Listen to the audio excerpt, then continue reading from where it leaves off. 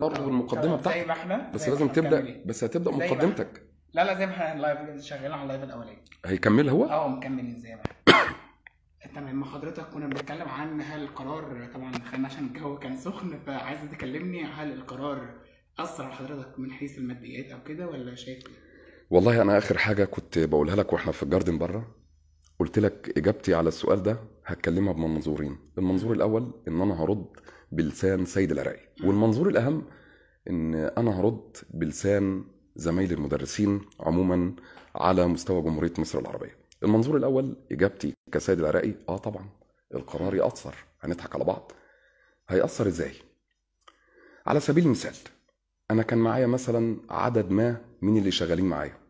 أكيد العدد ده هيتم تقليصه إلى الربع. فأنت كده سببت بطالة. طب تعالى بقى نتكلم بلسان المدرسين. أيوه أثرت على المدرسين ماديا.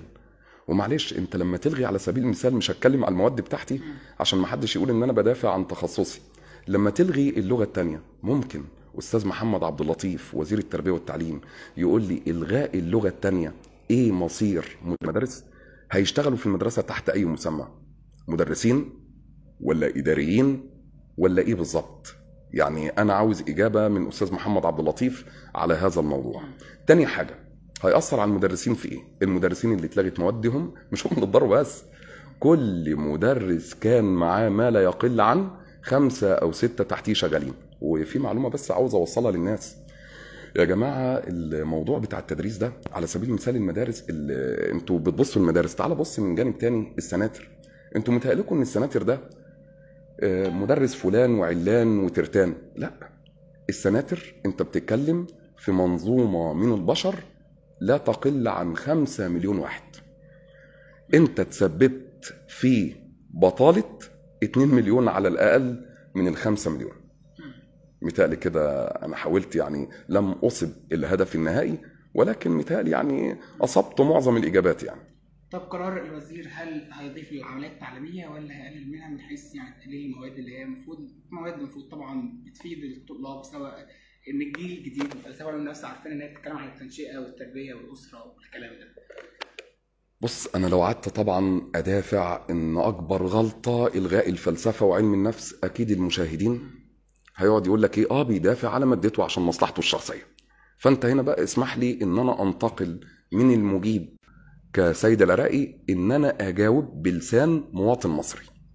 أنا مواطن مصري ليا حقوقي الدستورية وبتكلم بحرية في دولة ديمقراطية وأقول اللي أنا عاوزه ما لم ما لم أضر الآخرين.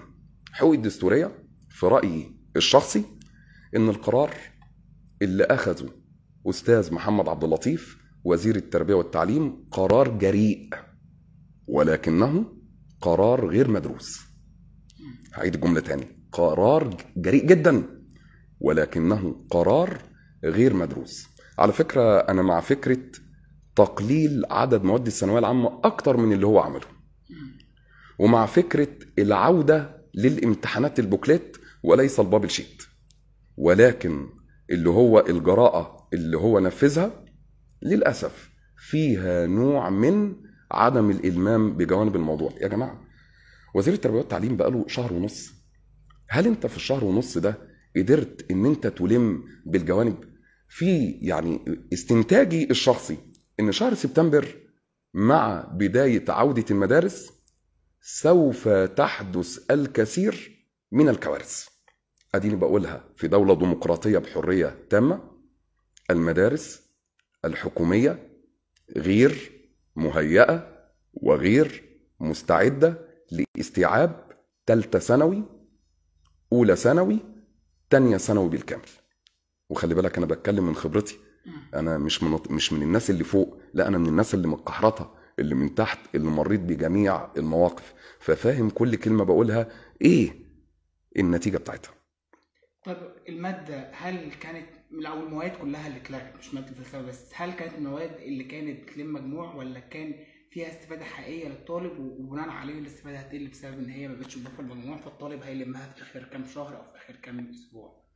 لا هي ما بقاش فيها آخر شهر وآخر أسبوع لأن هي اتلغت تماما يعني برضو خ... اتشالت- يعني الأول اتشالت من ال ما اتضافتش المجموع يعني لا واتشالت بعد آه. كده يعني في البداية قال لك لا تضاف للمجموع وتقريبا امبارح أو أول قال لك وكمان نشيلها من المواد التي لا تضاف للمو- للمجموع يعني مش موجودة. آه. بس أنا برضو مش هبدا في الإجابة على هذا السؤال إن أنا هجاوب على المواد بتاعتي فلسفة وعلم نفس عشان ما حدش يقول مين يشهد للعروسه إزاي ألغي اللغة الثانية أي منطق ألغي ألماني فرنساوي إيطالي أسباني إلى آخره. أكيد الطالب كان بيستفاد. طب قول لي أنت الطالب اللي هيخش بعد كده كلية الآداب أو كلية التربية أو كلية الألسن اللغات دي فين ال background الخلفية فين الأرضية فين الأساسيات اللي هو طالع عليها. لا أساسيات. بالمقياس بقى تعال نتكلم عن المواد بتاعتي. بأي عقل وبأي منطق إن الادبي يتم إلغاء علم النفس والفلسفة. الفلسفة فكر. طب وعلم النفس يخليك تفهم نفسية أي إنسان أنت بتتعامل معاه؟ يا جماعة إحنا كلنا مرضى نفسيين. فعلم النفس ده كان بيساعد ابنك وبيساعد بنتك إن هو يقدر يتغلب على مشاكله ويتعامل معاها بثبات انفعالي. عشان كده هرجع أقول أقول لك القرار آه قرار جريء ولكنه متسرع شوية. طب إيه الرسالة تحب توجهها لكل الطلاب في نهاية الفيديو؟ والله حتى لو تم إلغاء المواد بتاعتي تماما حتى في أولى ثانوي وفي ثانية ثانوي. نصيحة واحد بيحب بلده مصر. أهم شخص في المجتمع معلمك. بعد أمك وأبوك بإذن الله وحده لا شريك له معلمك. كاد المعلم أن يكون رسولا. هعيد تاني. المعلم هو أهم ركيزة في المجتمع. ولو عاوزين ننهض بالدولة الركيزة اللي هنبني عليها الدولة الهيكل العظمي مش إن أنا أغير في المناهج الأول. ابني المعلم لأن المعلم ده اللي هيبني لي ابني. لحظة بس قبل ما قبل ما اختم اللايف. وأنا بتكلم على المعلمين يا أستاذ أسامة. هو أنا في الأساس مدرس ابتدائي ولا إعدادي ولا ثانوي؟ مدرس ثانوي. بس تخيل إن أنا لو في إيديا حاجة مين أكتر مدرس ههتم بيه في المراحل دي؟ والله العظيم. مدر... لا مدرس التعليم الأساسي.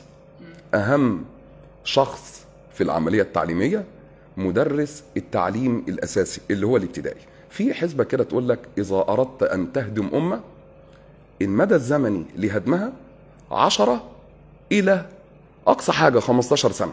ليه؟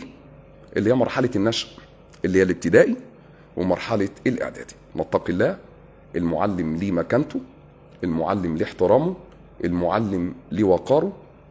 ومش هقدر أقول لك حاجة يعني قدر الله ما شاء فعل. أنا فيما يخصني الحمد لله رب العالمين أنا راضي بالمقسوم وحامد ربنا على كل اللي فيه. ومن خلال الجريدة بقول لكل المشاهدين يعلم الله ما في الصدور. اللي كان جوايا وأنا بعمل الفيديو بتاع المانجا ليس استعراض وليس تعالي والعياذ بالله. بان هل أنا بتكلم بتعالي ولا مش بتعالي؟ أنا بتكلم بفضل الله بثقة في الله وحده لا شريك له. ثم ثم عندي ثبات انفعالي ومتهيألي هذا الشيء لا يضرني يعني إن أنا بتكلم بثقة. يعني كل واحد حر في الشخصية بتاعته. آه، طبعا كنت منورنا على مصر اليوم وبشكرك جدا أستاذ سامي العراقي. عايز تقول أي حاجة أخيرة أو أي حاجة تختم بيها؟ ربنا سؤال أخير بس هل آه، ردود افعال الناس على ال social media ال- السلبية أنا السلبيه هل هتأثر في حاجة في شيء ولا؟ في أنا يعني؟ آه ولا حضرتك مكمل زي؟ لا هقول لحضرتك على حاجة. هو ربنا خلق لنا كام ودن؟ ليه؟ عشان آخد من واحدة أفوت من التانية. عادي جدا. يا جماعة ال- ال- اللي عاوز يديني طاقة سلبية ادي. بالعكس أنا من النوع لما أنت بتديني طاقة سلبية بتحمسني أكتر. أنا من النوع على فكرة في علم النفس شخصية عنيدة. يعني مش عنيدة يعني إن والعياذ بالله إن أنا بعمل مشاكل أمال إيه عنيدة؟ يعني مش من النوع إن أنت هتضايقني هتفتكر إن أنا أحط إيدي على خدي وأقعد أقول ليه كده؟ لا لا لا إحنا صعيده في الأساس من محافظة قنا يعني الله يعزك. يعني إيه؟ الحمد لله رب العالمين إحنا راضيين بالمقسوم بالقليل قبل الكثير وحامدين ربنا على النعمة اللي إحنا فيها. حتى لقيت من ضمن الكومنتات واحد ابن حلال كان كاتب لي بيقول لي إيه آه، أستاذ سيد أنا بحبك جدا ومتابعك باستمرار بس في جملة أنت قلتها في الفيديو أنا بعترض عليها دينيا. إيه بقى الجملة دي؟ بيقول لي أنت بتقول إن ربنا إدانا أكتر من حقنا. آه سبحانه سبحانه وتعالى إدانا أكتر من حقنا. إيه إيه عينيا اللي أنا شايفك بيها دي ما هي دي نعمة من ربنا سبحانه وتعالى لأن في اللي ما بيشوفش. كتابه الكريم انت عدنا الله لا تحصوها. إن الانسان صحيح. الانسان الإنسان بطبيعته هو ظالم لنفسه. صحيح. دي دي طبيعة ال- البشر عشان نتكلم بواقعية. وأجمل نعمة ينعمها الله على الإنسان نعمة الحمد والشكر. الحمد لله والشكر لله. ومعلش خلينا نتكلم بواقعية أكتر. يا أخي ما إحنا مهما عشنا فترة زمنية وهنمشي. على فكرة كل واحد مننا بيتعب وبيشقى. وهو عارف إن هو مش هياخد معاه حاجة. هو الدنيا على أساس يقول لك إيه؟ ولادي. وطبعا حتى لو مش سايب حاجة حتى لو إيه؟ هو لو مات الرزاق ما بيموتش. الرازق هو الله. صحيح. بس إحنا بنأخذ بالأسباب. إحنا بشر يا جماعة إحنا مش ملائكه أنا بشر وأنت بشر وكلنا بنشتغل عشان ولادنا والحياة بتمشي. ويا ريت دايما قبل ما نستعجل في ظلم الناس نحاول نفهم جوانب الموضوع. وولي الأمر اللي مسك المدرسين في خلال الكام يوم اللي فاتوا هجوم هجوم. على فكرة أنت نفسك كولي الأمر اللي كنت بتتحايل عليه قبل القرار ده. ولو القرار حصل فيه تراجع أنت اللي هترجع تتحايل عليه. يعني يا ريت برضه إيه إيه، تفهمها. وبرضه افهمها المدرس ما هو ده شغله. قول لي أنت أنا خريج كلية آداب وعملت دبلوم التربوي. واحد خريج كلية تربية هشتغل إيه؟ ما هي دي مهنتي. ما أنا لو كنت طبيب كنت هشتغل طبيب ولو كنت. خريج حقوق كنت هشتغل محامي. كل واحد بيشتغل بمهنته يا جماعة. ونرجع برضو اللي إحنا قلناه في بداية ال live هي العملية دايرة.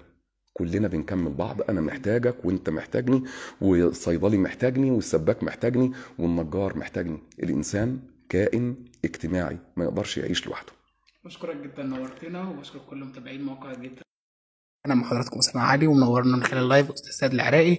بشكرك جدا على التوضيح وشكرا لكلام حضرتك. بشكرك شكرا جزيلا. ميرسي.